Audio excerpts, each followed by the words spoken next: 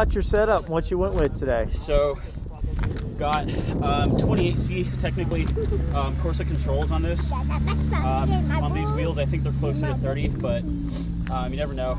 Zipp 404s, um, Shimano 105 10 speed. Nice. Uh, can't fault it. No. Didn't break. Um, the Quarq power meter up front. Uh, Did you get? Did you look at your power numbers? Were you really uh, pushing some good numbers through that mud? um, it's about average. Probably, um, I think around 275. Nice. Or so. That's pretty good for a flat course, Yeah, right? it was uh, it was a lot, but it was a good day. That's a Um, great setup. Did you go tubeless or did you do tubes? I've got sealant plus tubes. There you go. Yeah, Okay. So I mean, it was if it was a little bit firmer, this would have been perfect. But Great. uh, it was it was still It was doable. It, was, epic rideable. It was an epic day, and it was so much fun. Hey, So thanks fun. again for coming out. Go get your uh, trucker hat and let's get you on the podium. Yeah, for sure. Thank you.